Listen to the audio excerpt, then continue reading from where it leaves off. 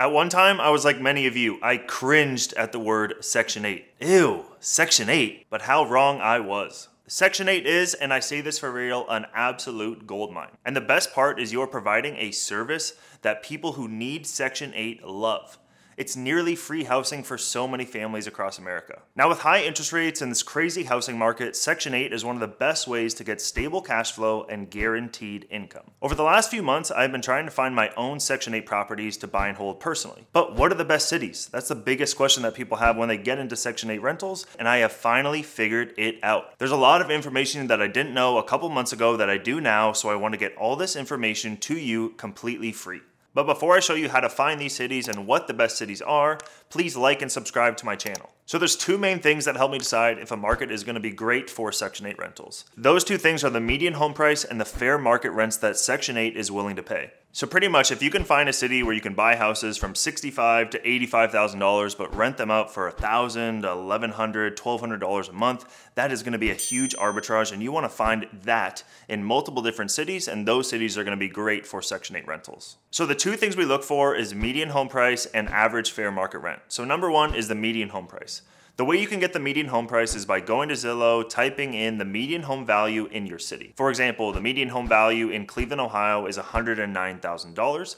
That means that for all homes purchased that month, the near average is $109,000. Now we want to see what those houses in Cleveland, Ohio will rent out for on the Section 8 program. Now, the way to do this is to find the county that the city belongs in. So, Cleveland, Ohio is in Cuyahoga County. So now that you know what the county is, you'll go and Google that county's fair market rents. And when you do that in Cuyahoga, you'll find a website called CMHA, which is Cuyahoga Fair Market Rent Calculator, which is pretty much the Section 8 rental program in Cuyahoga County. And when you do that, and when you find out that three bedroom, one bath house can rent out for $1,400 a month, and when you take that $1,400 a month rent with a $109,000 purchase price, that gives you a 15% return on your money. Keep in mind that Section 8 will not pay 100% of the fair market rent. They'll pay anything from 75 to typically 85%. But there's no real formula for calculating it. So you want to just take the fair market rent and times it by 75 to 85%. That's what we found in the Midwest. And the reason why this is important is because it's really going to screw up your numbers if you're budgeting for 100% of fair market rents.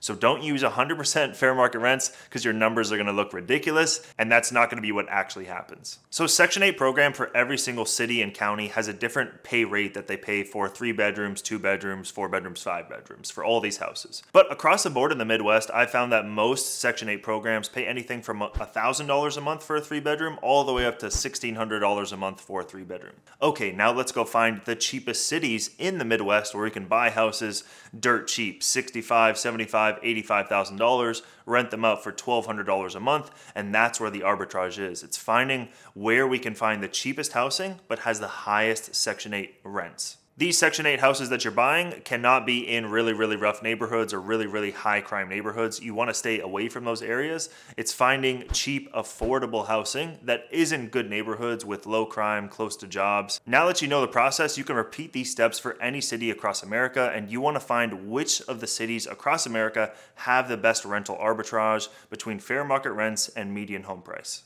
So the next step is to look for property management companies on Google and cold call and ask if they have experience with Section 8 rentals. If they know how to manage them, how many Section 8 rentals that they currently manage, you really want to spend a lot of time trying to find a good property management company. So try to find a property manager with a good relationship with the Section 8 local authorities. This is really going to help you pass your inspections and also get the highest fair market rents.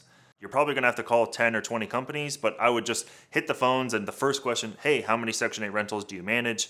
And if they have a couple hundred or even a thousand or 2,000, those property managers are gonna have a really, really good relationship with the Section 8 local authorities, and those are gonna be some property managers you'll wanna work with. So now that you found a great property management company, I want you to go out there and start looking for deals. So I want you to go on Zillow and Redfin and find properties that are within the 65 to $85,000 price range that are listed for sale. And and I want you to be able to rent those properties out for anything from 900 bucks a month to $1,400 a month. Run the numbers on those houses and find houses that are ready to go, that are move in ready. And I want you to be able to buy those houses with financing up front, get long term, 30 year term, 30 year amortization debt on those houses from 6 to 7% interest. And I want you at the end of the day to be making anything from a 10 to 20% return on your money. And it's super important to loop in your property management company because you want them to also be comfortable with the neighborhood that you're investing in. You want them to have experience in that neighborhood, experience using the Section 8 authority program in that neighborhood as well. And you want to make sure that your property manager agrees with you going out there and buying this property because that's going to be the best sign. If a property manager local to the area grew up there is okay with managing your property, that's a great sign.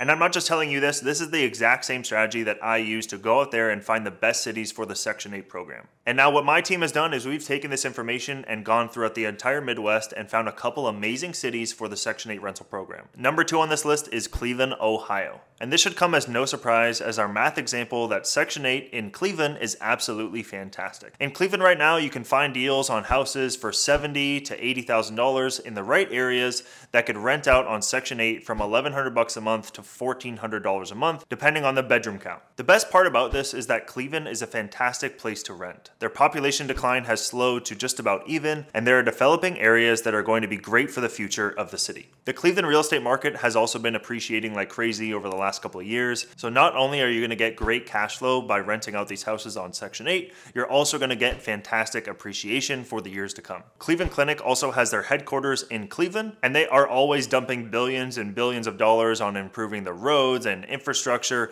and building new office space and hospitals. So Cleveland Clinic is a huge proponent to the growth in Cleveland, Ohio. So number one on my list is Detroit, Michigan. And if we're talking about pure cash flow deals, nothing compares to Detroit, Michigan right now. There are lots of neighborhoods that you can invest in for Section 8 rentals that are right next to great, fantastic areas. Even today in 2022, you can go and buy a single family house from 65K to $80,000 and you can rent it out on Section 8 program from 1200 bucks a month to $1,300 a month. The numbers are absolutely mind boggling. And there's also a really, really strong need for Section 8 rentals in Detroit because 30% of the families fall below the 30% income line. Right now, there's really no deal like Section 8 rentals in Detroit. So, what does this all mean? You shouldn't be scared of Section 8 rentals. You shouldn't be scared to go and buy houses on the Section 8 rental program. And there's lots of great cities where the Section 8 rental program works tremendously. And there's no other deals or ROIs like it out there today. Especially with the interest rates on the rise, it's harder and harder to find great cash flowing rental properties. But the Section 8 program can be a solution for you if you're willing to look for it and find the right property manager that can manage those Section 8 rentals for you.